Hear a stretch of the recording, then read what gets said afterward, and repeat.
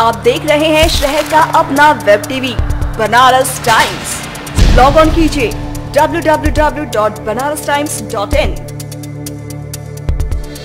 और www.cngtimes.com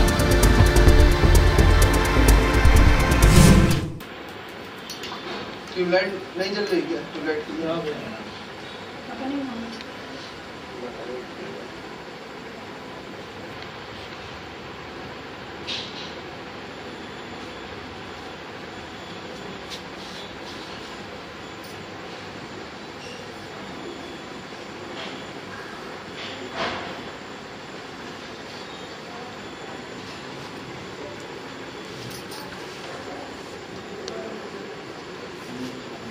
अलग अलग कर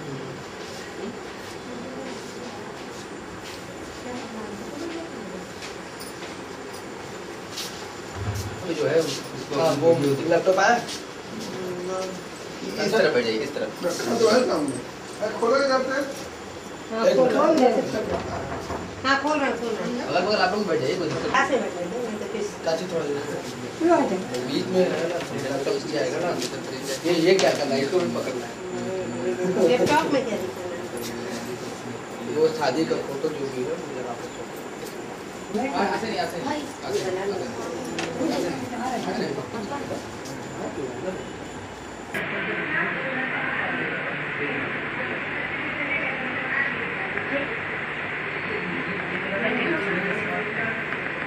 एक्सप्लेन कर सकती है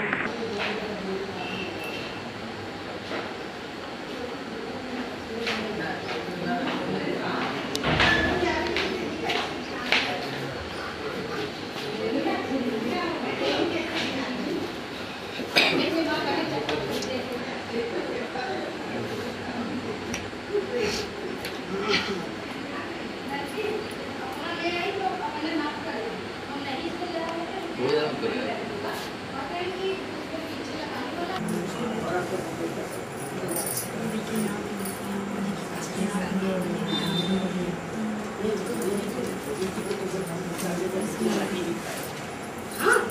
पकड़ो इसको देखना। इसको नहीं देखना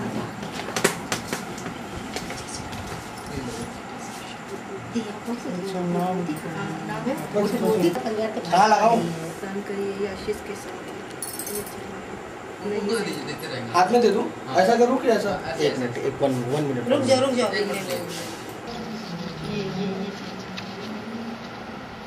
पलट लीजिए पलट लीजिए। सामने कर दो कि आए फ़ोटो उसका। वो तब तक के मेरा काम। पलट रहा है इधर। हाँ। दो। इसमें देखो सामने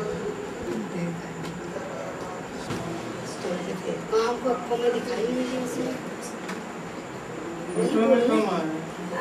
चर्चा होनी चाहिए कुछ हाँ नहीं बात जैसे चुप करो सोच में देंगे तो चलेगा ये यहाँ वाली सीटी है कि वहाँ फ़ोटो दिए सीडी में जी के द्वारा एंगल में आ गया मोदी जी का यही काम है कि सबके शादी में जाए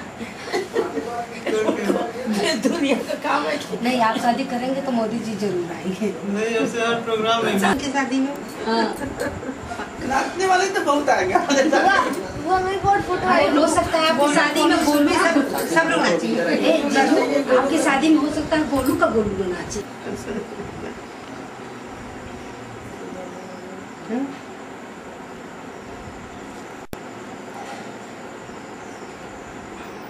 सबसे अच्छा ये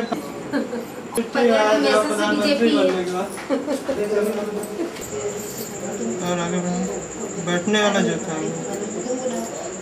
आ जाइए एंगेजमेंट हो जाइए शादी करने के लिए बढ़ा दीजिए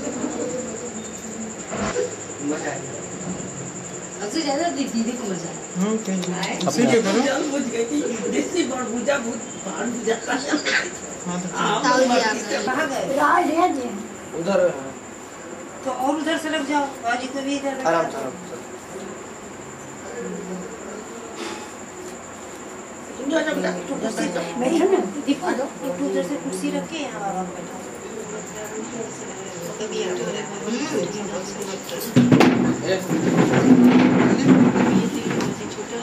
मुझे किधर बैठा रोल आपका नाम और परिचय बताइए। मैं मेरा नाम महेश तिवारी है और मैं अब लड़के कहाँ लेटर भेजा था किसको भेजा था कब शादी थी क्या है पूरा मामला? हमारे यहाँ शादी 21 अप्रैल में को थी पांडेपुर में प्रहलाद उपाध्याय के यहाँ शादी हुई और हमने पत्र 11 अप्रैल को मुख्यमंत्री गुजरात के कार्यालय में नरेंद्र मोदी के नाम से भेजा था। फिर क्या आया उसका रिस्पॉन्स उसका हमें लगता है कि चुनाव में व्यस्तता के कारण मोदी जी की तरफ़ से हमें जवाब शादी के बाद मिला लेकिन जब चुनाव से खत्म होने के चुनाव प्रचार खत्म होने से एक दिन पहले उनको छुट्टी मिली तब 9 तारीख को 9 मई को उन्होंने हमारे पास पत्र भेजा, जिसे पढ़कर बहुत हमें प्रसन्नता हुई और उन्होंने हमें शादी की बधाई भेजी है। और हमें सबसे बड़ी ये खुशी, ये बात की कि हमने तो पत्र भेजा गुजरात के मुख्यमंत्री के नाम से, लेकिन हमें जब पत्र प्राप्त हुआ तो पता चला कि गुजरात के मुख्यमंत्री हम भारत के प्रधानमंत्री बनने जा रहे हैं और हम तो यही मानेंगे कि ये पत्र हम भारत के प्रधानमंत्री को हमने भेजा था।